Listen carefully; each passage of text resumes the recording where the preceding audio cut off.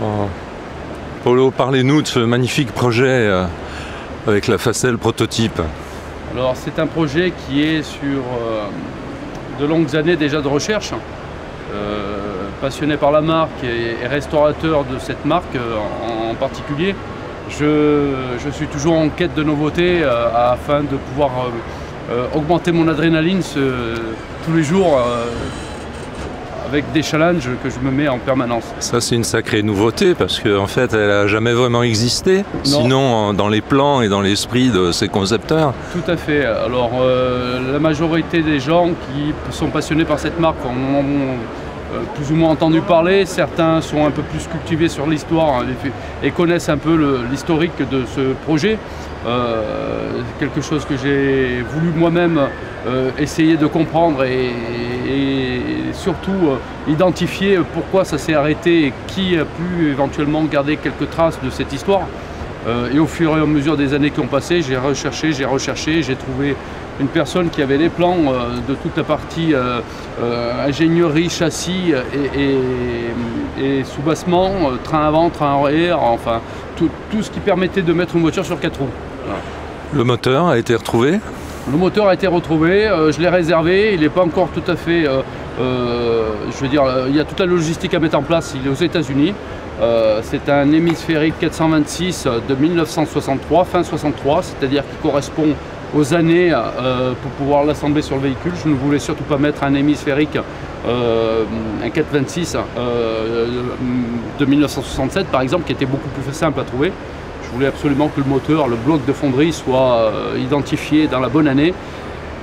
J'ai la boîte Colotti également, 5 rapports, qui est euh, en Italie, qui va également arriver sur palette là, euh, prochainement.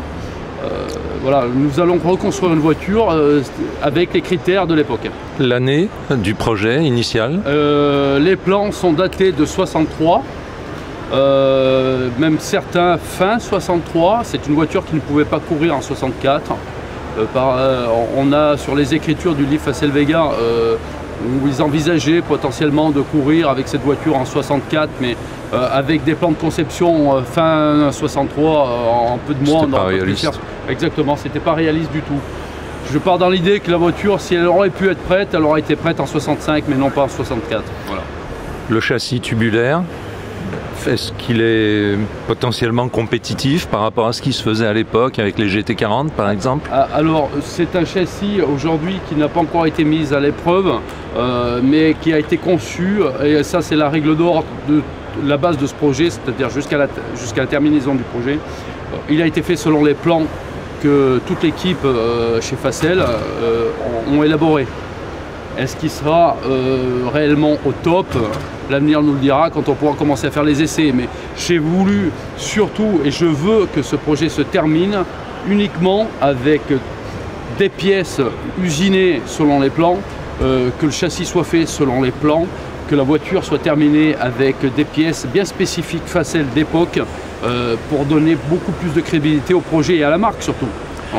L'objectif, c'est qu'elle soit sur ses roues dans deux ans. À quelle époque Dans deux, ans. Voilà. L'idéal, ce serait effectivement qu'on fête les 60 ans euh, en, la, présentant au Mans. Euh, voilà. Elle sera forcément. Euh, du moins, elle sera peut-être pas forcément sur les pistes, hein, concurrente avec d'autres marques, mais au moins présentée au Mans. Statique, au moins. D'accord. Présentée au Mans dans deux ans. D'accord. Bah, c'est un bel objectif, un beau projet. Et il faut beaucoup d'audace euh, à l'époque comme aujourd'hui pour euh, se lancer dans une telle initiative. Bravo, merci. Merci beaucoup.